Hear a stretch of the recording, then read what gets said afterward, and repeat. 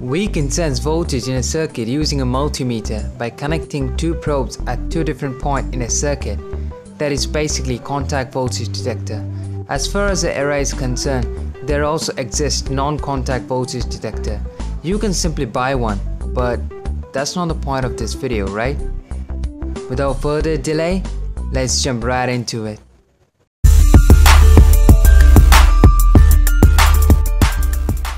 All you need is 4 general purpose transistor, in my case BC547, 1 mega ohm resistor, 100 kilo ohm resistor, 39 kilo ohm resistor, 1 5 kilo ohm potentiometer, a 5mm red LED, a 9 volt battery since we want to make it portable, and a battery connector.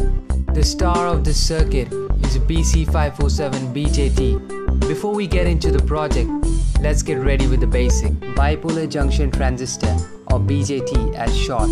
Talking about BJT, it is classified as NPN and PNP. The arrow mark at the emitter indicates the flow of current. BJT can act as a switch as well as an amplifier. Here in this project we will deal with the switching property. For the LED to glow in this circuit, a minimum base current is required which acts as a switch. BJT are also known as current control devices Higher base current can destroy the transistor, so we need to add a current limiting resistor. We need to make sure that the collector current does not exceed the rated value.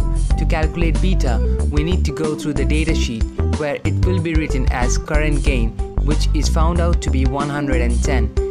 Now let's calculate IB. R2 can be easily calculated by Kirchhoff's voltage law in the lower mesh.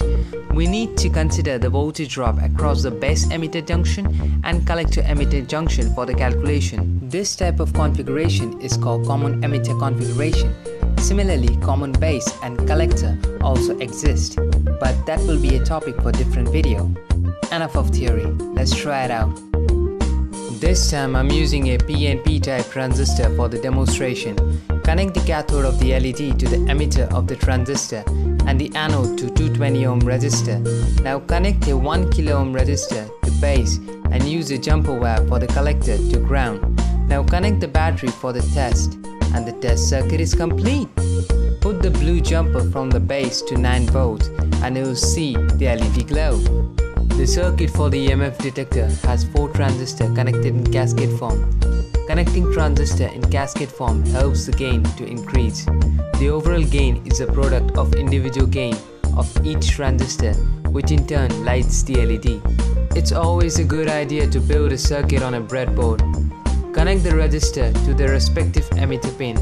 Place the potentiometer in one side of the breadboard. Now connect the jumper wire from the emitter of the first transistor to the base of the second. Use another jumper to make a connection between the emitter and base of the second and third transistor respectively.